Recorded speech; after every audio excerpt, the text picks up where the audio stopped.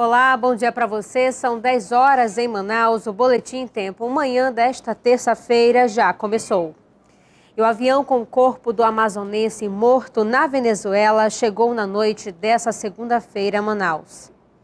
O corpo do amazonense Amauri Castro da Silva, de 47 anos, desembarcou no Terminal 2 do aeroporto Eduardo Gomes por volta das 7h50 da noite dessa segunda-feira.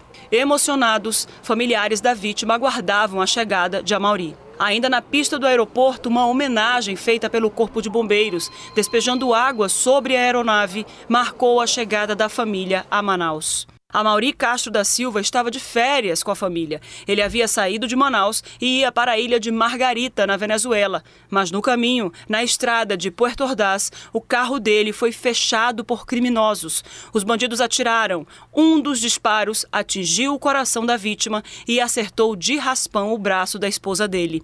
O caso é investigado pela polícia venezuelana, mas a situação política é difícil no país.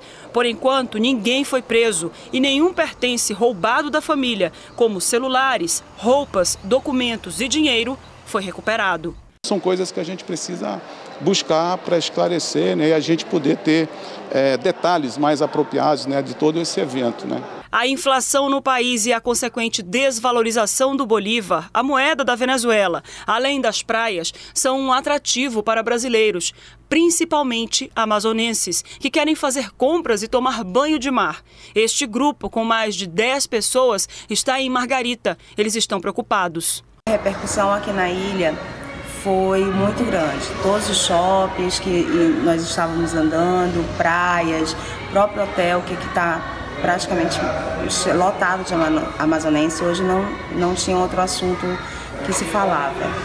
Então a gente tenta aqui mais uma vez pedindo para que as pessoas sigam as leis de segurança na estrada, não dirijam à noite. O trajeto de volta para Manaus é de quase 2 mil quilômetros, que geralmente são percorridos em três dias. Tem gente até pensando em voltar de avião para não correr riscos na estrada. E olha, o corpo do amazonense está sendo velado na funerária Almir Neves, no centro de Manaus. Mais detalhes você confere no Jornal em Tempo de hoje. E olha, o corpo de um adolescente de 15 anos foi encontrado por moradores na tarde dessa segunda-feira no Terra Nova, zona norte da capital. Foi por volta das duas e meia da tarde dessa segunda-feira que o corpo foi jogado na rua Jerusalém. A vítima estava com marcas de tortura e sem roupas. Segundo moradores, o rapaz não morava nas proximidades. Essa mata aí é tudo é, é, gente enterro, deixa aí, polícia vem, pega os corpos e não acontece nada.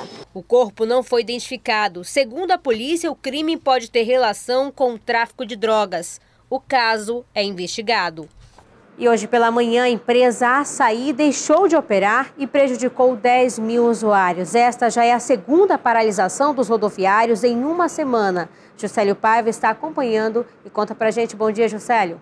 Bom dia, Priscila. Essa foi a segunda paralisação em uma semana dos ônibus do transporte público que operam aqui na zona norte de Manaus. Desta vez, quem paralisou foram os funcionários da empresa Açaí, que opera com 74 carros em 18 linhas aqui na zona norte e prejudicou na madrugada e nas primeiras horas da manhã desta terça-feira pelo menos 10 mil pessoas, segundo o Sinetran. E o reflexo foi isso que nós vimos: ônibus completamente lotados e paradas completamente lotadas desde a madrugada até as primeiras horas da manhã desta terça-feira. Agora, Priscila, vale lembrar que essa foi a segunda paralisação em uma semana, porque na terça-feira da semana passada, a Líder Transporte prejudicou pelo menos 20 mil usuários do transporte público também na Zona Norte após uma paralisação.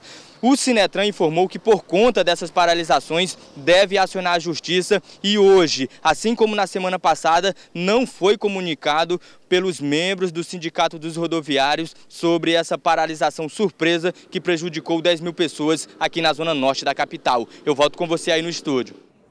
Começa hoje o cadastramento e recadastramento da meia passagem. Os estudantes vão ter um mês para realizar o procedimento e ter o benefício. O repórter Bruno Fonseca traz os detalhes. Olá, bom dia, estudantes de Manaus. Tem de hoje, 16 de janeiro, até 16 de fevereiro para fazer o cadastramento ou recadastramento da meia passagem. Todos os interessados em garantir o benefício devem estar cadastrados no sistema de meia passagem da Prefeitura. O estudante que nunca solicitou o cartão estudantil poderá se cadastrar pela primeira vez pelo site Estudantes Manaus. Após 72 horas do cadastro, o estudante deverá se dirigir aqui no Cinetran, na Avenida Constantino Neri, em frente ao T1, com carteira de identidade ou certidão de nascimento para solicitar a emissão do cartão. Menores de 18 anos deverão comparecer aqui no Cinetran, acompanhado do responsável legal. Após esse procedimento, o aluno aguardará a aprovação de cadastramento pela instituição de ensino e o início do ano letivo para poder comprar a quantidade de créditos referente ao curso que irá frequentar. O recadastramento deverá ser realizado no mesmo período também pela internet no www.estudantes.manaus.am.gov.br. Eu volto com você no estúdio. O setor da saúde do estado continua sendo alvo de reclamações. Pacientes da Fundação Secom voltaram a enfrentar problemas com as máquinas de radioterapia. Todas as manhãs de segunda-feira é assim. A entrada do ambulatório na Fundação Secom fica lotada. É gente em busca de exames, consultas ou até mesmo informação. Por aqui sobram reclamações. A dona Osmarina trata um câncer de mama. Ela já fez todas as marcações onde vai fazer a radioterapia, mas não consegue marcar as sessões. Estou aqui toda marcada. A dela ela a marcou, marquei, caiu, tiraram para remarcar de novo e até agora não remarcaram. Em novembro, o Jornal em Tempo mostrou o drama de pacientes que esperavam pelas sessões de radioterapia. A queda de um raio queimou a placa do simulador aparelho usado para fazer as marcações onde o paciente precisa receber radiação. A previsão da Secretaria de Saúde era que o conserto fosse feito em três meses. A assistência técnica especializada chegou a ser solicitada. Alguns pacientes foram remanejados. A Silma chegou a fazer as marcações, mas aguarda as sessões de radioterapia. Ela é filha da dona Osmarina. As duas estão em tratamento de câncer de mama.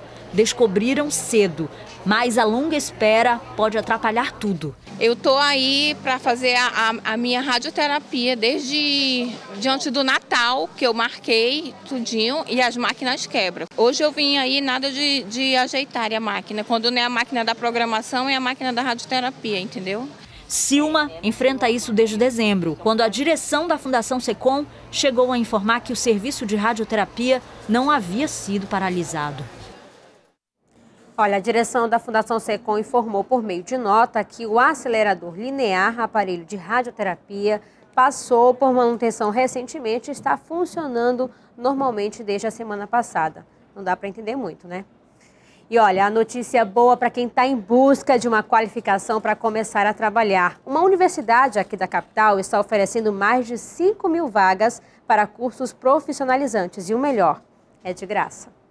Saúde, engenharia, marketing, publicidade e propaganda e muito mais. São várias as áreas dos cursos oferecidos pela universidade. Marketing no, no mercado globalizado, é, cursos muito específicos na área de saúde, sonda, é, área de engenharia, desenho técnico, uh, o que, que a, a, profissão de engenheiro, a profissão de psicólogo e o mercado da psicologia. Mas é preciso se apressar, porque as aulas já começaram e vão até o dia 30 deste mês. A inscrição é gratuita. Basta acessar o site extensão.uninasal.com.br que tem como objetivo capacitar as pessoas sem cobrar absolutamente nada para elas. Esta esteticista aproveitou a oportunidade para fazer um curso específico na área. Hoje em dia, sem uma qualificação, fica bem mais complicado de você entrar no mercado de trabalho. E nunca é demais o conhecimento.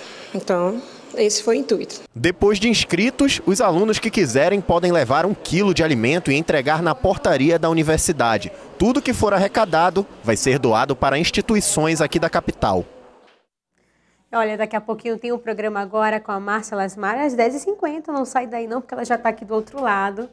Márcia, quais são os destaques de hoje? Ontem a gente já iniciou a semana com muita notícia e hoje a história não é muito diferente não, né? Não, hoje tem muita notícia também, viu, Priscila? Um bom dia para você, um bom dia para você que está aí do outro lado assistindo agora o Boletim em Tempo. Daqui a pouquinho você também vai ver no programa da Comunidade no Agora informações da nossa ronda policial. A gente vai mostrar o caso de um ex-presidiário que foi preso suspeito de estuprar uma adolescente de 15 anos na zona norte de Manaus. Na tarde de ontem, a vítima foi ameaçada de morte com uma faca no pescoço caso ela gritasse. Ele foi preso em flagrante. A gente também vai trazer um outro caso de polícia, um trio que foi preso por extorsão na tarde de ontem. De acordo com a polícia, a vítima, um técnico em é, eletricista, um técnico eletricista, teve a família toda ameaçada por esse trio se ele não desembolsasse uma quantia de 7 mil reais para ele. Dá para acreditar? Estão apelando para tudo, até ameaçar a família dos outros, viu? A gente também vai trazer no programa de hoje três denúncias das comunidades.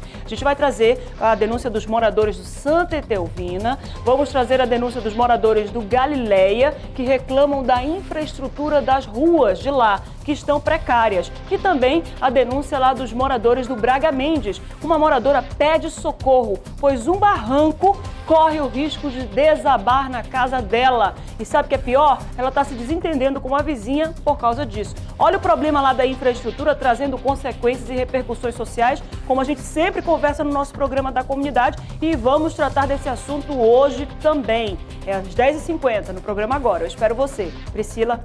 Obrigada, Márcia. O Boletim em Tempo amanhã fica por aqui. A gente volta a se encontrar amanhã às 10 horas. Até lá.